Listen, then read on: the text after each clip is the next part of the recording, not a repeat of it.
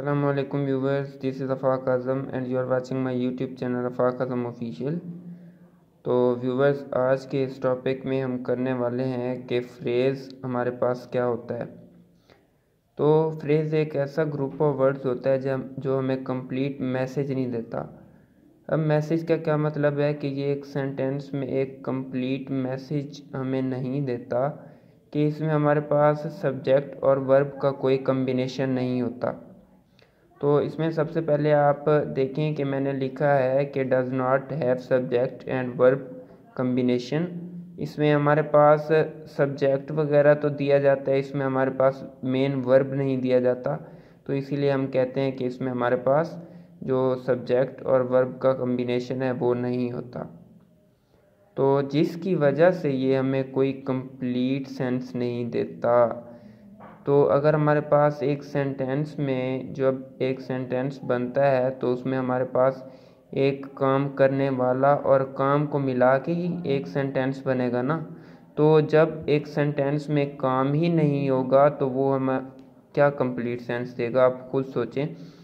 तो इसीलिए ये हमें कंप्लीट सेंस नहीं देता। तो इसके बाद हम आ जाते हैं इसकी टाइप्स पे। तो इसमें हमारे पास इसकी सेवन टाइप्स हैं। तो सबसे पहले हम देखते हैं कि एडजेक्टिव फ्रेज़ क्या होता है। ऐसे हम फर्दर देख लेते हैं, इसकी डिटेल हम नेक्स्ट वीडियो में करेंगे। तो एडजेक्टिव फ्रेज़ क्या होता है? एडजेक्टिव फ्रेज़ वो फ्रेज़ होता है जो हमारे पास किसी एडजेक्टिव से स्टार्ट होता है। और इसमें एडजेक्टिव जो होता है, आपको पता है कि किसी नाउन को मॉडिफाई करता है। तो उसके अलावा नाउन फ्रेज़ जो है, किसी नाउन से स्टार्ट होगा। नाउन फ्रेज़ जो है, किसी सब्जेक्ट में भी आ सकती है ऑब्जेक्ट में भी आ सकती है या ऑब्जेक्ट के डायरेक्ट बाद भी आ सकती है। तो उसके बाद जब हम बात करते हैं प्रेपोजिशनल फ्रेज़ की, ये किसी प्रेपोजिशन से स्टार्ट होगा।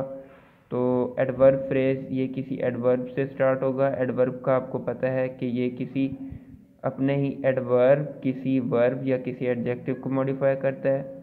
इसके बाद जीरंड जीरंड हम उसे कहते हैं कि आईएनजी फॉर्म तो होती है, लेकिन वो हमारे पास एज अ वर्ब या एक कंप्लीट सेंस के लिए यूज़ होता है। तो इसके बाद बाद हमारे पास आ जाता है इन्फिनेटिव फ्रेज़ तो इन्फिनेटिव फ्रेज़ में हमारे पास आता है कि to plus first form of verb तो उसके बाद जो फ्रेज़ आती है, वो हम कहते हैं कि ये हमारे पास इन्फिनेटिव फ्रेज़ और इसके बाद लास्ट जो हमारे पास फ्रेज़ की टाइप आ जाती है वो है अपोजिट फ्रेज़ तो इसके बाद हम इन्हें एक एक करके डिस्कस करेंगे। आज की वीडियो आपको अच्छी लगी हो तो लाइक और सब्सक्राइब कर दें। Thanks for watching